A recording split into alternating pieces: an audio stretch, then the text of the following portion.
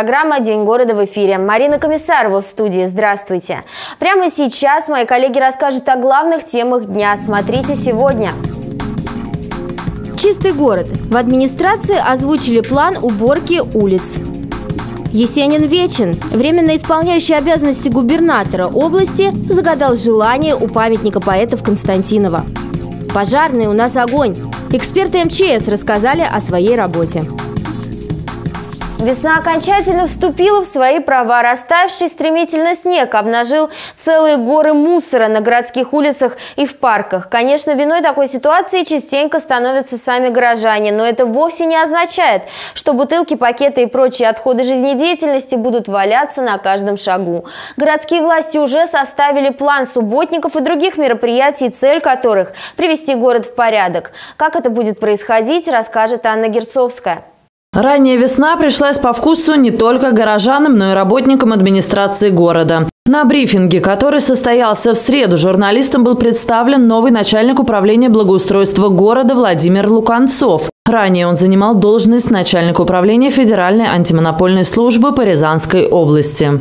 То, что у нас так рано сошел снежный покров, это дает нам даже определенные возможности в этом году частности по приведению нормативного состояния дорожной сети и э, проведению этих работ по озеленению, по благоустройству в целях создания комфортной городской среды.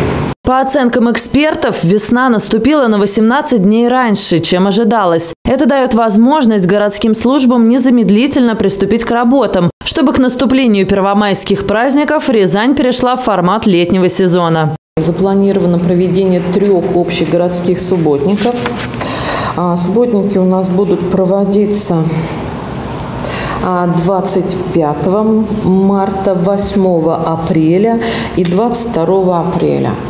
А, но на уборку городских территорий уже с сегодняшнего дня у нас вышли общественные а, организации. Сегодня уже убирается сквер а, Кремлевский на площади Соборной, а также производится уборка тротуаров и зеленых зон на центральных улицах города.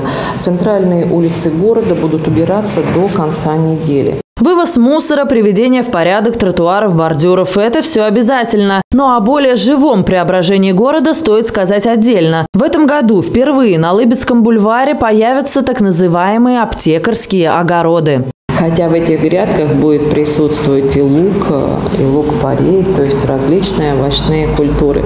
Но в первую очередь это декоративность. Так что есть капусту и лук не нужно. В необычном формате привычные овощи и та же ромашка будут располагаться на Лыбецком бульваре для красоты. Кроме этого, в городе будет высажено 420 тысяч единиц цветочной рассады. Изменится и расширится ассортимент. Вместо 28 видов теперь будет 36. От некоторых придется и отказаться. С другой стороны, впервые появится 9 видов многолетних цветов. Основу многих композиций составят канны, которые не появлялись на улицах города долгие годы. Розарии также оживятся. К лету будет добавлено около 2000 роз. Эти колючие растения за последние три года хорошо прижились и рязанцам весьма нравятся. Традиция по их разведению будет продолжаться. Все вышеперечисленные моменты будут выполнены силами дирекции по благоустройству города. Но это еще не все.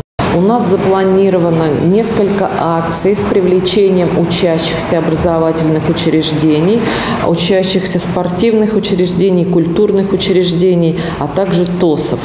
А, будет акция «Миллион цветов городу». А, точно так же дети будут выращивать рассаду, и уже они приступили к этому а, в образовательных учреждениях. И точно так же будет дан старт этой акции ну, в начале июня. Так что, как и в прошлом году, школьники высадят свою рассаду на специально выделенные клумбы, а затем смогут ухаживать за ними. Кроме того, в городе будет посажено 400 деревьев и свыше 5000 кустарников. Отдельное внимание будет уделено работе в сфере обустройства автомобильных дорог. Для этих целей в 2017 году будет приобретена техника общей суммой на 30 миллионов рублей. Некоторые из машин, предназначенные для уборки улиц, станут новинками для нашего города. Поэт, ставший символом не только Рязанского края, но и великой страны в целом, любим многими спустя столетия. Каждый из нас находит нечто близкое, родное в его песенном слове. Не остался в стороне от творчества нашего великого земляка и временно исполняющий обязанности губернатора региона Николай Любимов, который посетил родину Есенина Константинова. Валерий Седов пытался понять, чем же поэзия Есенина так трогает сердца людей. В Рио рязанского губернатора Николай Любимов посетил музей-заповедник Сергея Есенина. Первым делом политик возложил цветы к памятнику поэту и подержался за его палец. Согласно примете, это поможет исполнить загаданное желание. И это, вероятно, принесло свои плоды. Ведь 2020 год может быть объявлен годом Сергея Есенина. Дата выбрана не случайно. Пройдет 125 лет со дня его рождения. Хоть поэт и прославленный рязанец, мы решили узнать, какой отпечаток он оставил в сердцах наших горожан. Вы знаете, кто такой Сергей Есенин? Конечно. Кто это?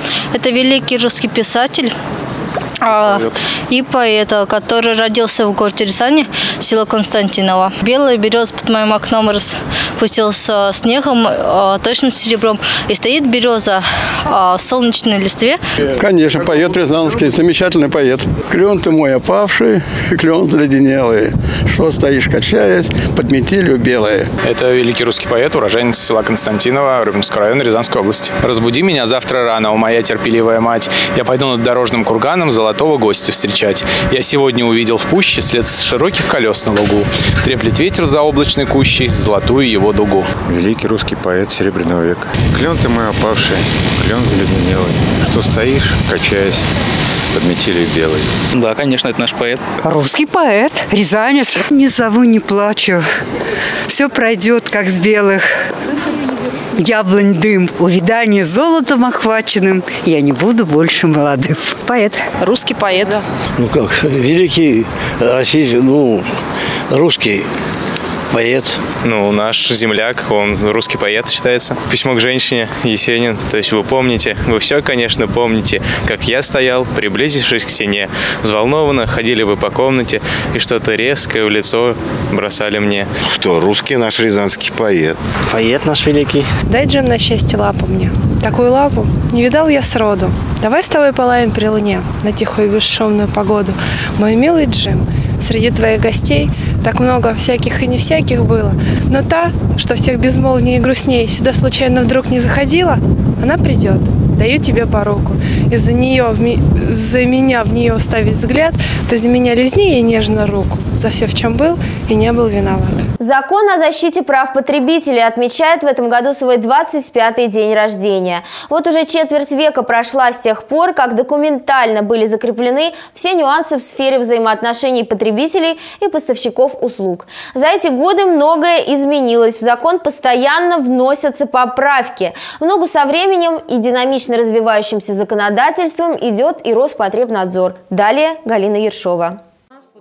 В ногу со временем под таким девизом в Рязани отметили Международный день потребителя. Акцент сделали на просвещение населения в области интернет-торговли. В ходе опроса выяснили, что особой популярностью у рязанцев пользуются иностранные сайты. Лидером стал AliExpress. А вот крупные российские игроки, такие как M5 Mall и Эльдорадо, пока не до конца вышли на цифровой рынок. Тем не менее, активность сети набирает обороты, и в прошлом году в Роспотребнадзор поступило 37 обращений граждан, которые заказали некачественный товар в интернете. Прежде чем заказать товар, надо изучить отзывы, отклики, понять, э, если там будет написано из 10 э, человек, что 9, 9 товар не был доставлен, я думаю, с таким э, потребителем, с предпринимателем уже и с, с интернетом общаться не стоит. Законодательство тоже не стоит на месте. Сейчас ведется разработка документов, полностью регламентирующих интернет-торговлю. Уже известно, что скоро вступят в силу новые штрафные санкции. Санкции наложены на, на граждан, которые занимаются этим, они могут могут быть не зарегистрированы, да, как индивидуальные предприниматели.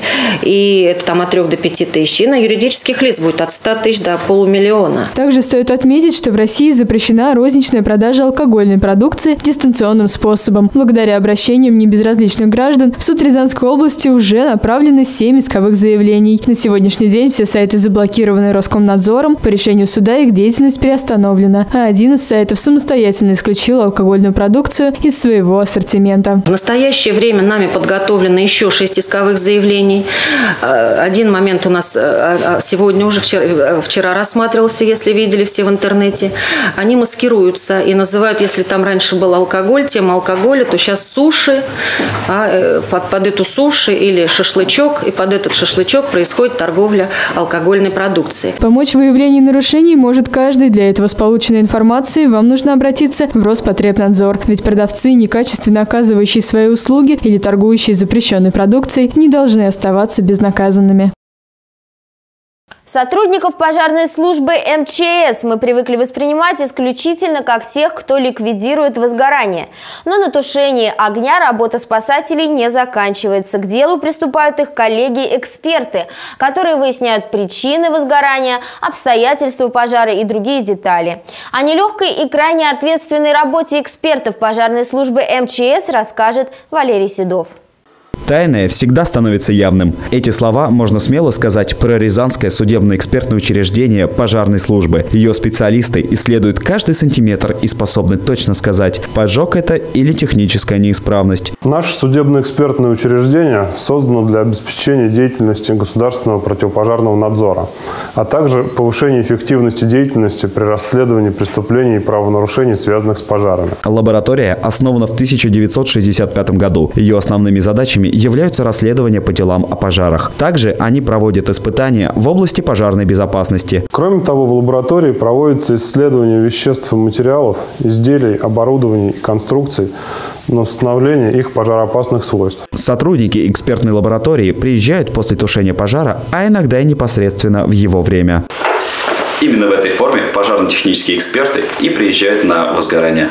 Сотрудники лаборатории показали на конкретном примере, как проходит работа. На обычный деревянный брусок капнули немного бензина и подожгли, а после промыли водой с моющим средством, имитируя пожарную пену и возможные осадки. Но даже после такой обработки с помощью газоанализатора можно определить следы легковоспламеняющейся жидкости. После этого образец изымают с места пожара и исследуют в лаборатории. А, в этой лаборатории мы проводим химические исследования легковоспламеняющихся и горючих жидкостей, образцы части которых нам удается изъять с места пожара. Непосредственно вот этот прибор, газовый хроматограф, позволяет установить э, конкретно вид вещества, применяемого для поджога.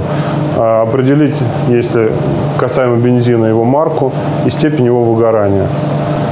При наличии обширной базы бензинов со всей России возможно даже определить производителя данного топлива. По показаниям приборов можно определить, произошло ли в проводах короткое замыкание после пожара или стало его причиной. Существует два способа это сделать – разрушительный и неразрушительный. Второй метод позволяет проводить исследования не один раз. Также в работе применяется и тепловизор. Выехали на пожар, мы его разграфили, обозначили каждую точку, провели измерения в каждой точке. И вот эти данные, после того, как э, обобщили их, построили поля распределения температур, вот такое расположение очага пожара чаще всего нам говорит о том, что здесь был поджог. То есть никаких технических средств, ни, ни двигатель, ни электропроводка, ничего здесь нет, кроме как занесенный извне источник зажигания. Для специалистов судебно-экспертного учреждения сегодня практически нет ничего невозможного. Установить причину пожара удается практически в 100% случаев. Квалификация сотрудников и наличие современной материально-технической базы позволяют успешно решать все задачи, поставленные перед экспертными учреждениями Федеральной противопожарной службы на территории Рязанской области. Во второй части части выпуска вы увидите. Жители Рязани сами выбирают бренд города. Как читают незрячие, рассказали в библиотеке для слепых. В художественном музее работает выставка пейзажистов из разных эпох. Книга «Лучший друг человека» – истина, известная с древних времен. Но как быть тем, кто не имеет возможности читать в связи с отсутствием зрения? Для таких людей изобретен особый шрифт и издаются специальные книги. Довольно дорогое, правда, удовольствие. Вот почему многие предпочитают посещать специальные библиотеки для слепых, которые значительно отличаются от привычных нам книгохранилищ. Чем именно, расскажет Алена Куколева.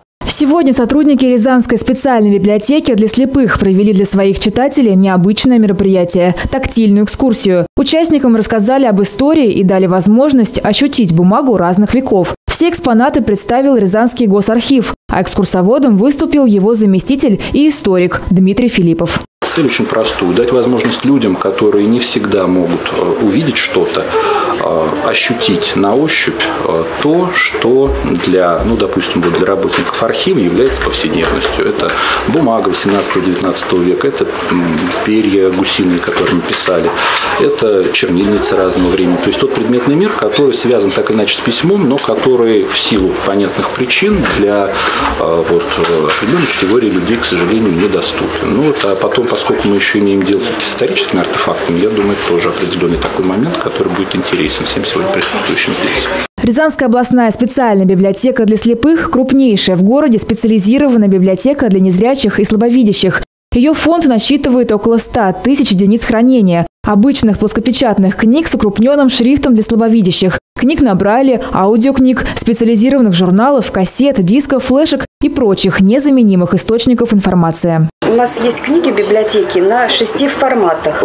Это брайлевская литература, это рельефно-точечный шрифт, чтение пальцами, осязаемое слово, говорящие на дисках, на флешках, на кассетах. Также есть плоскопечатные у нас книги. Работа с инвалидами требует много энергии и большой отдачи. Поскольку библиотека специальная, то и посетители у нее особенные. Самое главное – это индивидуальный подход к каждому читателю. Нужно изучить читательские интересы, какие жанры предпочитает. Сотрудники учреждения всегда готовы прийти на помощь каждому, кто в ней нуждается. Жители Рязани могут как самостоятельно приходить за книгами, так и делать заказ на доставку. На дом можно заказать книги. Читатель нам звонит, говорит, какие ему книги по авторам, по жанрам. То есть конкретно мы находим книги и перезваниваем, когда мы их привезем. Классику берут всегда, перечитывают, потому что классику не хочется перечитать все-таки, да. Но сейчас еще преобладает еще такое досуговое чтение. Э, детективы, фантастика, любовные романы.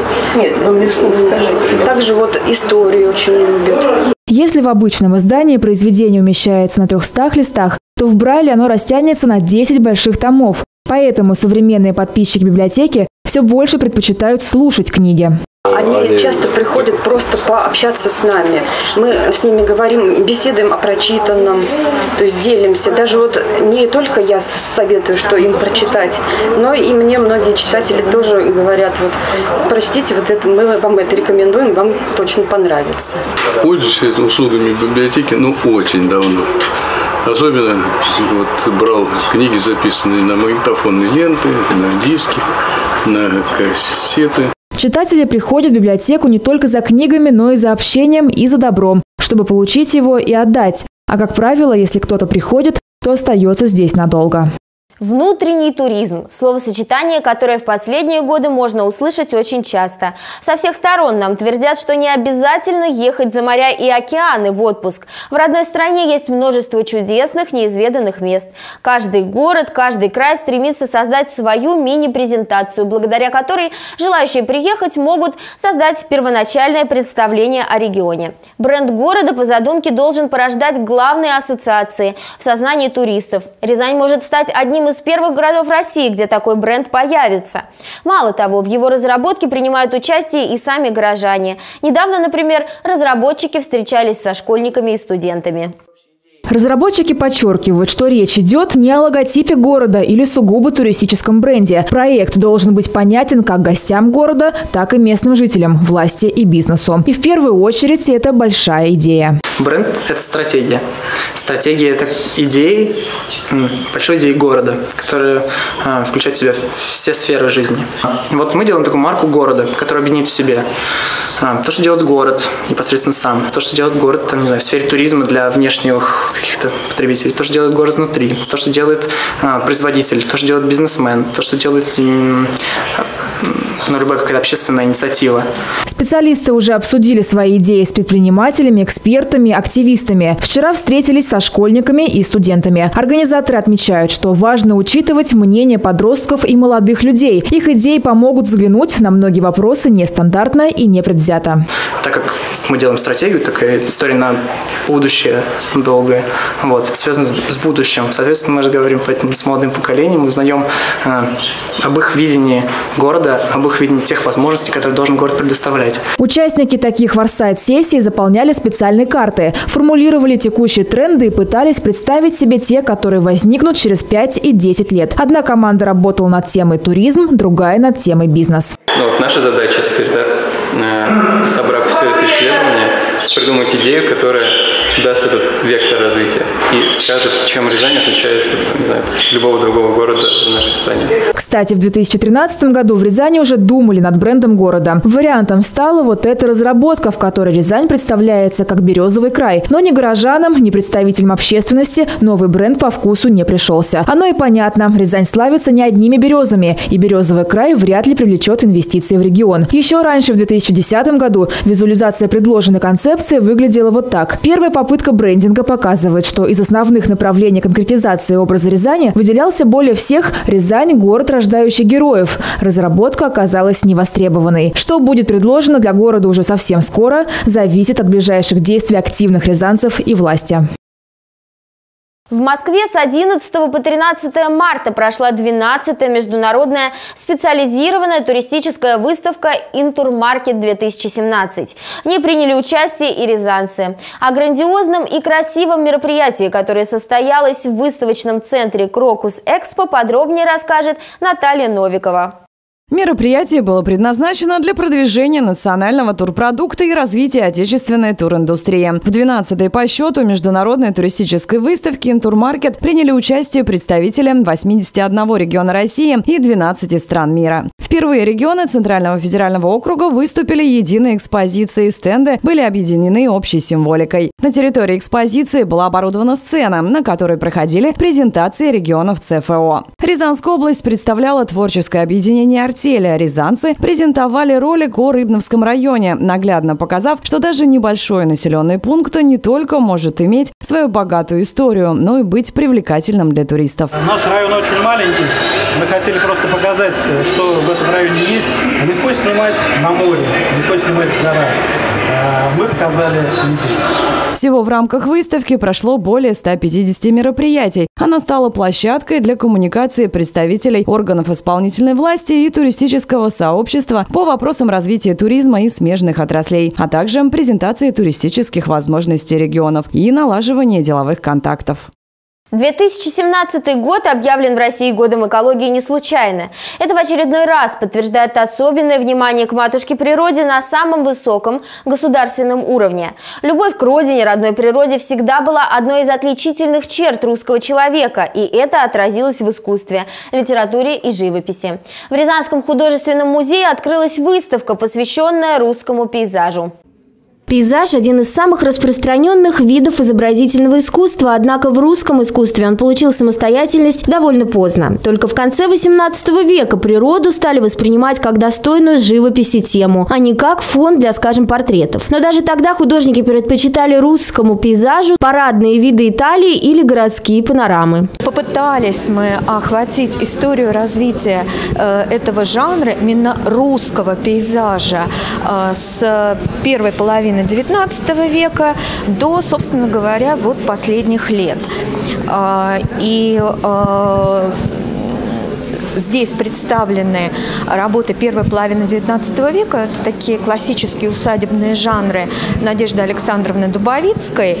Э, и э, они, собственно говоря, наверное, на этой выставке одни из самых ранних пейзажных вещей. На выставке в художественном музее работы выдающихся мастеров XIX века. Реалистические пейзажи, полные красоты и экспрессии. Игра света и точность деталей в полотнах признанного знатока русского леса Шишкина. Тонкости исполнения графики Саврасова. Графика автора, кстати, является редкостью в музейных коллекциях. Есть здесь работы Левитана, подтверждающие его выдающиеся способности мастера натурного этюда. Данная выставка, она действительно э, позволяет увидеть произведения наших ведущих художников-пейзажистов.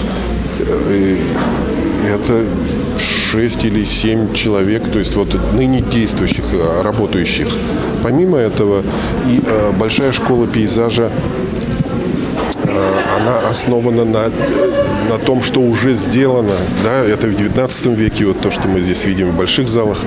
Вот. И, разумеется, современные художники, они не только смотрят и восхищаются, но и учатся на примерах э, настоящего классического искусства. Увидеть в залах музея можно и работы рязанских художников. Пейзаж всегда занимал ведущее место у живописцев нашего края. Определенное место э, уделено и нашим рязанским пейзажистам.